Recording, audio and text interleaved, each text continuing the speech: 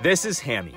I'm a potato. Ever since he stopped using his legs, he's identified as a potato and doesn't like hearing he's a dog. I said I was a potato. He has legs, he just chooses not to use them, and now I have a pet potato, and I'm okay with that.